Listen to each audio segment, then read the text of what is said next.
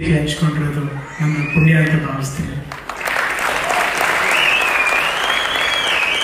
ಹಾಗೂ ವೇದಿಕೆಯಲ್ಲಿ ಅನೇಕ ಗಣ್ಯರಿದ್ದಾರೆ. ಎಲ್ಲರಿಗೂ ನಮಸ್ಕಾರಗಳು. ಹಾಗೂ ಇಲ್ಲಿ ಸೇರುವಂತ ಎಲ್ಲ ಅಭಿಮಾನಿ ದೇವರುಗಳಿಗೆ ಮತ್ತೊಮ್ಮೆ ವಂದನೆಗಳು.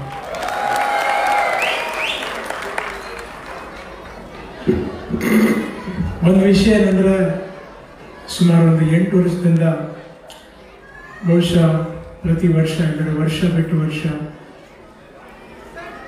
ಯಾವುದಾದ್ರೂ ಒಂದು ದೇಶಕ್ಕೆ ಯಾವಾಗಲೂ ಹೋಗಿ ಬರ್ತಾ ಇರ್ತೀವಿ.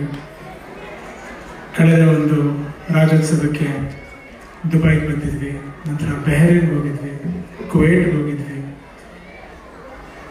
ಅಮೇರಿಕಾ, ಲಂಡನ್, ಅಲ್ಲಿ ಇಲ್ಲಿ.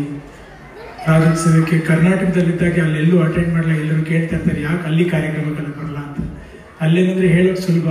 ಒಂದು ಕಾರ್ಯಕ್ರಮಕ್ಕೆ ಅಟೆಂಡ್ ಮಾಡಿದ್ರೆ ಇನ್ನೊಂದು ಕಾರ್ಯಕ್ರಮಕ್ಕೆ ಹೋಗ್ತಿದ್ರೆ ತಪ್ಪಾಗುತ್ತೆ ಅಂತ ಹೇಳಿ. ಅದಕ್ಕೆ ಹೊರದೇಶಕ್ಕೆ ಬಂದು ಹೊರದೇಶದಲ್ಲಿದ್ದಂಥ ಕನ್ನಡಿಗರು ನೋಡೋ ಒಂದು ಅವಕಾಶ, ಒಂದು ರಾಜ್ಯೋತ್ಸವ ಸಂದರ್ಭದಲ್ಲಿ ಸಿಗುತ್ತೆ. ಹಾಗಾಗಿ ವರ್ಷ ವರ್ಷ ಒಂದು ಗುರು ಸಂತೋಷ ಆಗಿದೆ ಅಂದ್ರೆ ಪ್ರತಿಯೊಂದು ಹೊಸ ಹೊಸ ದೇಶಕ್ಕೆ ಹೋಗಿ ಅಲ್ಲಿ ನಮ್ಮ ಕನ್ನಡಿಗರು ನೋಡಿದಾಗ ತುಂಬಾ ಸಂತೋಷ ಆಗುತ್ತೆ. ನೀವು ಬಂದಿರೋ ಇಲ್ಲಿ ಅನೇಕ ನೂರಾರು ಸಾವಿರಾರು ಜನರು ನೋಡಿದಾಗ ನಮಗೆ ತುಂಬಾ ಸಂತೋಷ ಆಗುತ್ತೆ. ಯಾಕಂದರೆ ಬೇರೆ ಕಡೆ ಬಂದು ನಮ್ಮವರಲ್ಲಿ ನೆಲೆಸಿ ಸಂತೋಷವಾಗಿ ಬದುಕೊಂಡು ಕನ್ನಡನ ಉಳಿಸ್ಕೊಂಡು ಕಾರ್ಯಕ್ರಮಗಳ ಮೇಲೆ ಕಾರ್ಯಕ್ರಮಗಳು ಮಾಡ್ತಾ ನಮ್ಮಂಥವ್ರನ್ನಲ್ಲಿ ಕರೆಸಿ, ಇಲ್ಲಿ ವೇದಿಕೆ ಮೇಲೆ ಕೂರಿಸಿ ನಮ್ಮನ್ನ ಗೌರವಿಸಿದಾಗ ತುಂಬಾ ತುಂಬಾ ಹೆಮ್ಮೆ ಅನಿಸುತ್ತೆ. ಇಲ್ಲಿ ಬಂದ ತಕ್ಷಣ ಮಕ್ಕಳು ಬಂದು ಮಾತಾಡಿದಾಗ ತುಂಬಾ ಅದ್ಭುತವಾಗಿ ಕನ್ನಡದಲ್ಲಿ ಮಾತಾಡ್ತಾರೆ. ಅದು ಮೊದಲು ಖುಷಿ ಆಗುತ್ತೆ. ಎಲ್ಲ ದೇಶದಲ್ಲೂ ಅಷ್ಟೇ. ಬಹುಶಃ ಊರ್ ಬಿಟ್ಟು ಹೋದಾಗ ಆ ಪ್ರೀತಿ ಹೆಚ್ಚಾಗುತ್ತೆ ಏನೋ ಗೊತ್ತಿಲ್ಲ. ಪ್ರತಿ ಸಲ ಒಂದು ದೇಶಕ್ಕೆ ಬಂದಾಗ ನಿಮ್ಮನ್ನ ನೋಡಿ ನಾವು ಕಲ್ತ್ಕೊಂಡು ಅಲ್ಲಿ ಎಲ್ಲರೂ ಹೇಳ್ತಾ ಬರ್ತಿರ್ತೀವಿ ಏನಯ್ಯ, ಅಲ್ಲಿ ಹೋದ್ರೆ ಅಷ್ಟು ಚೆನ್ನಾಗಿ ಮಾತಾಡ್ತಾರೆ? ನಮ್ಮಲ್ಲೇ ಯಾಕೆ ಕನ್ನಡ ಮಾತಾಡೋದು ಕಮ್ಮಿ ಮಾಡ್ಬಿಟ್ಟಿದ್ದಾರೆ ಅಂತ. ತುಂಬಾ ಹೆಮ್ಮೆ ಅನ್ಸುತ್ತೆ ನಿಮ್ಮನ್ನೆಲ್ಲ ನೋಡಿದ್ರೆ. ಭೈರಪ್ಪನವ್ರು ಮಾತಾಡಿದ್ಮೇಲೆ ನಾವು ಏನೇ ಮಾತಾಡಿದ್ರು ಎಸ್ ಎಲ್ ಭೈರಪ್ಪನವ್ರು ಸರ್ ಮಾತಾಡೋದ ಮೇಲೆ ಏನೇ ಮಾತಾಡಿದ್ರು ಕಡಿಮೆ ಅನಿಸುತ್ತೆ. ಹಾಗಾಗಿ ಇಲ್ಲಿಗೆ ಬಂದು ನಿಮ್ಮನ್ನೆಲ್ಲ ನೋಡೋಕೆ ನನಗೆ ಅವಕಾಶ ಮಾಡಿಕೊಟ್ಟ ನಮ್ಮ ಶೆಟ್ಟಿಯವರಿಗೆ ಹಾಗೂ ಇಲ್ಲಿರುವಂಥ ಪ್ರತಿಯೊಬ್ಬ ಪ್ರತಿಯೊಬ್ಬರಿಗೂ ಅಂದರೆ ಇಪ್ಪತ್ತು ವರ್ಷದಿಂದ ಬೆಳೆಸ್ಕೊಂಡು ಬಂದಿರುವಂಥ ಈ ಸಂಘ ಇದೆಯಲ್ಲ, ಅಲ್ಲಿಗೆ ಬಂದಿರುವಂಥ ಪ್ರತಿಯೊಬ್ಬರಿಗೂ ನನ್ನ ಧನ್ಯವಾದಗಳು ಹೇಳಲಿಕ್ಕೆ ಇಷ್ಟಪಡ್ತೀನಿ. ಜೊತೆಗೆ ಕಾರ್ಯಕ್ರಮ ಇನ್ನೂ ಕೂತ್ಕೊಂಡು ನೋಡೋಕ್ಕಾಗಲಿಲ್ಲ. ಹಲವಾರು ಮಕ್ಕಳು ಹಾಡುಗಳಿಗೆ ಡ್ಯಾನ್ಸ್ ಮಾಡಿದ್ರಂತೆ. ಇನ್ನೂ ಡ್ಯಾನ್ಸ್ ಮಾಡೋದಿದೆ ಅಂತ ಸೊ ಹಾಗಾಗಿ ಕೂತ್ಕೊಂಡು ನೋಡ್ತೀವಿ ಆ ಕಾರ್ಯಕ್ರಮಗಳನ್ನೆಲ್ಲ. ಸೊ ಹಾಗೆ ತುಂಬ ತುಂಬ ಥ್ಯಾಂಕ್ಸ್ ಹಾಗೂ ನಮಗೊಂದು ಅವಕಾಶ ಆಯಿತು. ಹೋದ ವರ್ಷ ಅಕ್ಕ ಸಮ್ಮೇಳನದಲ್ಲಿ ನಾವೊಂದು ಸಿನಿಮಾ ಮಾಡಿದ್ವಿ. ನಮ್ಮ ಪ್ರೊಡಕ್ಷನ್ ಇಂದ ಕವಲುದಾರಿ ಅಂತ ಹೇಳಿ ಆ ಸಿನಿಮಾದ ಟೀಸರ್ ಬಿಡುಗಡೆ ಆಗಿತ್ತು.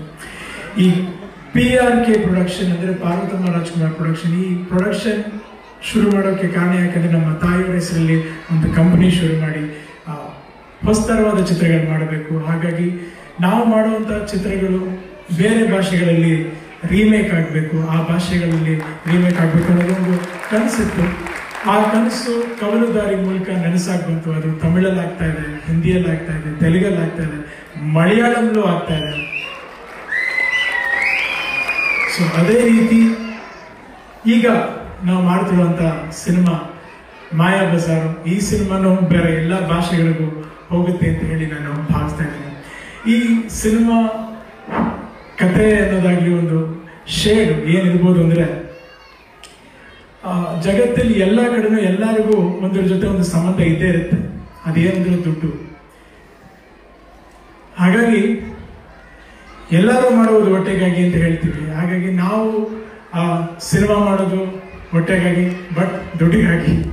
ನೀವು ಊರು ಬಿಟ್ಟು ಇಲ್ಲಿ ಬಂದಿರೋದು ಸಂಪಾದನೆ ಮಾಡೋಕ್ಕಾಗಿ. ಸೊ ಹಾಗಾಗಿ ಆ ಸಂಪಾದನೆ ದುಡ್ಡು ಎಷ್ಟು ಮುಖ್ಯ? ಒಬ್ಬ ಮನುಷ್ಯನಿಗೆ ಎಷ್ಟು ಸಂತೋಷ ಕೊಡುತ್ತೆ? ಒಬ್ಬ ಮನುಷ್ಯನಿಗೆ ಅದೇ ಎಷ್ಟು ಕಷ್ಟ ಕೊಡುತ್ತೆ ಅನ್ನೋದೇ ಒಂದು ಮಾಯಾ ಬಜಾರ್ಲಿ ಬರುವಂತ ಒಂದು ಅಂಶದ ಸಿನಿಮಾ. ಈ ಸಿನಿಮಾನ ಪ್ರೆಸೆಂಟ್ ಮಾಡಿರೋದು ಪಿ ಆರ್ ಕೆ ಪ್ರೊಡಕ್ಷನ್ಸ್ ಇದನ್ನ ಪ್ರೊಡ್ಯೂಸ್ ಮಾಡಿರೋದು ಗೋವಿಂದ್ ಅವರು ಮತ್ತೆ ನನ್ನ ವೈಫ್ ಅಶ್ವಿನಿ. ಈ ಸಿನಿಮಾದಲ್ಲಿ ಪ್ರಕಾಶ್ ರಾಜ್ ಅವರಿದ್ದಾರೆ, ಅಚ್ಯುತ್ ರಾವ್ ಅವರಿದ್ದಾರೆ, ಸುಧಾರಾಣಿ ಅವರಿದ್ದಾರೆ ಸಾಧು ಗೋಕಿ ಅವರಿದ್ದಾರೆ. ಮೊಟ್ಟೆ ಮೊಟ್ಟೆ. ಶೆಟ್ಟಿ ಹಾಗೂ ವಶಿಷ್ಠ ಇವರಿಷ್ಟು ಜನರು ಈ ಸಿನಿಮಾದಲ್ಲಿ ಆಕ್ಟ್ ಮಾಡ್ತಾರೆ. ರಾಧಾಕೃಷ್ಣ ಅಂತ ಹೇಳಿ ಹೊಸ ಎಂಟ್ರಿ ಮೊದಲನೇ ಸಿನಿಮಾ ಮಾಡ್ತಾ ಇದ್ದಾನೆ. ಇದೇ ರೀತಿ ಆ ಹೊಸಬರನ್ನ ಇಂಟ್ರೊಡ್ಯೂಸ್ ಮಾಡಬೇಕು ಅನ್ನೋದಲ್ಲ ಒಳ್ಳೆ ಸಿನಿಮಾಗಳು ಬರಬೇಕು. ಈ ಸಿನಿಮಾಗಳು ಕನ್ನಡ ಸಿನಿಮಾ ಆಗಿ ಬೇರೆ ಎಲ್ಲ ಚಿತ್ರರಂಗದಲ್ಲೂ ಡಬ್ ಆಗದೆ ರೀಮೇಕ್ ಮಾಡಬೇಕು ಅನ್ನೋದೇ ನಮ್ಮ ಕನಸು ಅಷ್ಟೇ. ಆ ಸಿನಿಮಾಗೆ ಎಲ್ಲರೂ ಸಪೋರ್ಟ್ ಮಾಡಿದ್ದಾರೆ ಎಲ್ಲರೂ ಅದ್ಭುತವಾಗಿ ನೋಡಿ ಕಮರ್ಷಿಯಲಿ ಕೂಡ ಒಂದು ಹಿಟ್ ಆಗಿ ಮಾಡಿಕೊಟ್ರು. ಅದೇ ರೀತಿ ಮಾಯಾಬಜಾರು ಚೆನ್ನಾಗಿದೆ ಅಂತ ನಾವು ನಂಬಿದ್ದೀವಿ. ಸೊ ನಿಮ್ಮ ಆಶೀರ್ವಾದ ಇರಲಿ.